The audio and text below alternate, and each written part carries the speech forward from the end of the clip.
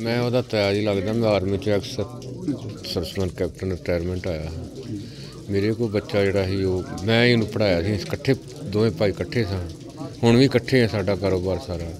ਬਹੁਤ ਪਿਆਰਾ ਬੱਚਾ ਸੀ, ਗੁਰੂ ਘਰ ਨਾਲ ਉਹਦਾ ਬੜਾ ਪ੍ਰੇਮ ਸੀ। ਬਾਬੇ ਦੀਪ ਸ਼ਹੀਦਾਂ ਦੇ ਉਹਨੇ ਜਾਣਾ ਹੀ ਜਾਣਾ ਹਰ ਐਤਵਾਰ ਜਾਂਦੇ ਸਾਂ। ਕਹਿੰਦਾ ਕਿ ਮੈਂ ਬਾਹਰ ਜਾਣਾ ਹੈ। ਬਾਹਰ ਚਲਾ ਗਿਆ। 13 14 ਮਹੀਨੇ ਉਹਨੇ ਵਰਕ ਕੀਤਾ ਆ। ਉੱਥੇ ਵੀ ਸ਼ੁਕਰਾਨਾ ਕਰਨ ਵਾਸਤੇ ਪ੍ਰਮਾਤਮਾ ਦਾ ਗਿਆ। ਜੋ ਜੂਬਾ ਦੇ ਵਿੱਚ ਸਿਟੀ ਹੈ ਗੁਰਦੁਆਰਾ ਸਾਹਿਬ ਧੰਤਰ ਬਾਬਾ ਦੀਪ ਸਿੰਘ ਜੀ ਦਾ ਉੱਥੇ ਮੱਥਾ ਟੇਕ ਕੇ ਨਿਕਲ ਕੇ ਆਪਣੇ ਸਾਥੀਆਂ ਨੂੰ ਉੱਥੇ ਛੱਡ ਗਿਆ। ਕਹਿੰਦਾ ਕਿ ਮੈਂ ਤੈਨੂੰ ਹੁਣੇ ਆਣ ਕੇ ਲੈ ਜਾਣਾ ਮੈਨੂੰ ਥੋੜਾ ਜਿਹਾ ਅੱਧੇ ਘੰਟੇ ਤੱਕ ਵਾਪਸ ਆ ਜਾਣਾ।